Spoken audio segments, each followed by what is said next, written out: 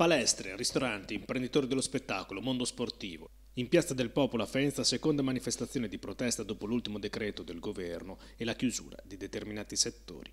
Realtà che avevano investito per rispettare le nuove norme di sicurezza che sono state colpite dalle chiusure. Al posto delle serrande abbassate, lo hanno ribadito in molti durante la manifestazione, sarebbe stato meglio avviare una serie di controlli a tappeto o a campione, ma lasciando lavorare chi rispetta le regole. Si vive male perché al di là dell'incertezza della pandemia o comunque dell'emergenza sanitaria c'è veramente tanta incertezza eh, sulla continuità e la sicurezza del lavoro. Questo fa tremare tanti miei colleghi, eh, tante strutture. Per assurdo la nostra struttura eh, aperta l'8 gennaio ha subito due chiusure che sono veramente dure per le nostre casse e sicuramente non è, non è uno stimolo ovviamente positivo per tutto il movimento.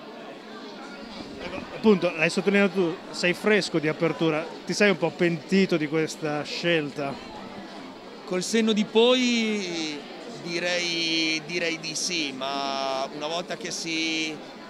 sono sempre per eh, non pentirmi di guardarmi mai indietro, quindi sì, lo volevo, l'ho fatto, ho sicuramente qualche responsabilità forse nella gestione, ma non eh, di tutto il resto.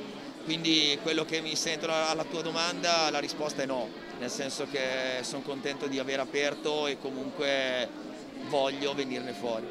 Oggi l'avete sottolineato un po' in tanti, volete più controlli, rimanere aperti ma con i controlli, quindi volendo anche, anche con le multe poi alla fine con i controlli. Ma assolutamente ci sta, cioè, fatta la regola ci deve essere il controllo e poi chi non la rispetta ci deve essere la sanzione. Personalmente con tutta l'onestà posso dire con tutto quello che abbiamo fatto, investito, ci siamo impegnati nel distanziare il maggior numero degli spazi, di ridurre gli ingressi nostre, eh, nei nostri locali, non è stato fatto alcun controllo, ma nel giro anche eh, dei, dei, colleghi delle, delle città limitrofe, dei controlli a random e per pochissimi sono stati poi generalizzati in, eh, diciamo, in scala nazionale. No, questo proprio è stata una presa in giro cioè, galattica, questa proprio è stata una cosa che non ci è andata giù. Questo. Quando appunto la settimana scorsa, diciamo, Conte ha detto palestra avete una settimana di tempo per mettervi a norma, tu che cosa hai pensato? Sono un ottimista e guardo sempre il bicchiere mezzo pieno, quindi per mia natura ho detto facciamo tutto quello che possiamo, miglioriamoci, riduciamo gli ingressi e lunedì 26 siamo aperti. Non è stato così.